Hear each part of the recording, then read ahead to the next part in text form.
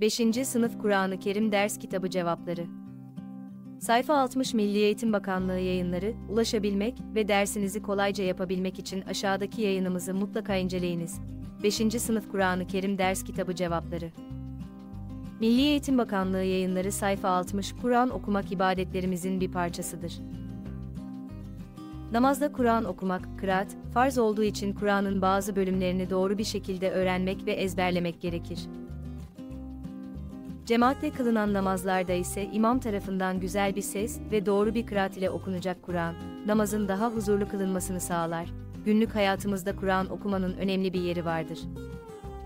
Ramazan ayı, mübarek gün ve geceler, nikah törenleri, cenaze merasimleri, kabir ziyaretleri gibi çeşitli zaman ve mekanlarda Kur'an okur ve dinleriz. Bireysel veya toplu olarak yaptığımız bu ibadetlerden manevi bir huzur alırız. Kur'an-ı Kerim'i doğru ve güzel okumak için uyulması gereken kurallar olarak tanımlayabileceğimiz tecvid ilmini bilmek gerekir. Tecvid kurallarına uyulması, Kur'an'ın doğru okunmasını ve anlaşılmasını sağlar. Kur'an'ın sesli ve tecvid kurallarına uyarak okunması tilavet kavramıyla ifade edilir. Güzel ses ile okunan Kur'an'ın kendine özgü bir musikisi ve okunuş tarzı vardır. Kur'an kelimelerinin dizilişi, anlamlarındaki derinlik, güzel ses ve okuyuş tarzıyla oluşan ahenk, insan ruhunu derinden etkiler. Onu okuyan ve dinleyenler ilahi sözün yüceliğini hissederler.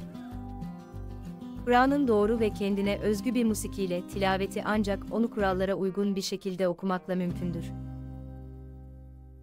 Yorumlayalım Kur'an'ı gereği gibi güzel okuyan kimse, vahiy getiren şerefli ve itaatkar meleklerle beraberdir.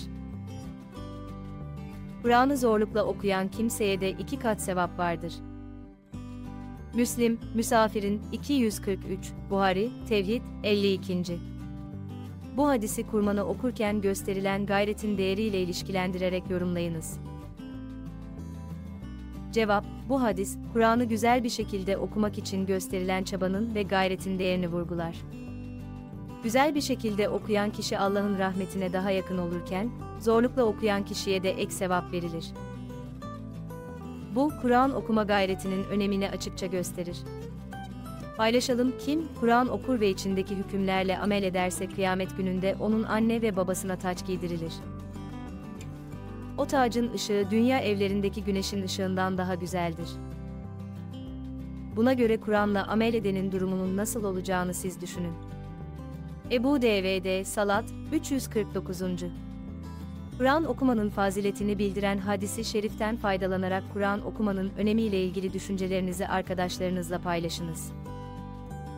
Cevap, bu hadis, Kur'an okumanın anne ve babasına taç giydiren bir eylem olduğunu vurgular. Kur'an okuma, büyük bir fazilet taşır ve hem bireysel hem de toplumsal anlamda önemlidir. Kur'an'la amel etmek, güzel bir davranış sergilemenin bir yolu ve Allah'a olan bağlılığın bir ifadesidir. 5.